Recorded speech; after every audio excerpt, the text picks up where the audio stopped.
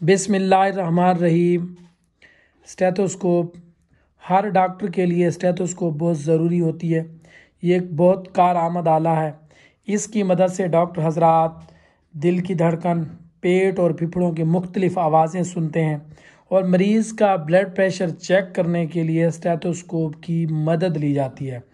बहुत सी बीमारियों की इन्वेस्टिगेशन करने के लिए ये आला बहुत मुफीद है। ये स्टेथोस्कोप एक डॉक्टर की पहचान होती है। इसके बगैर एक डॉक्टर नामुकम्मल होता है।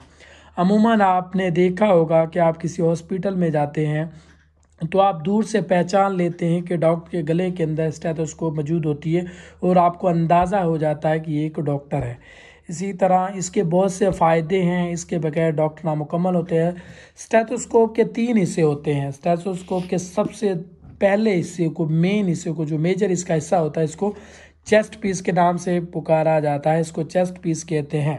इसके साथ साथ इसके साथ एक रबड़ की नाली लगी होती है, जिसको रबड़ ट्यूब या रबड़ की नाली कहते हैं। इसके साथ एक इसका जो तीसरा हिस्सा होता है, जो कि बहुत अहम हिस्सा होता है, इसको एयर फ्रेम कहते हैं। ये डॉक्टर हजरात अपने कानों के अंदर लगाते हैं।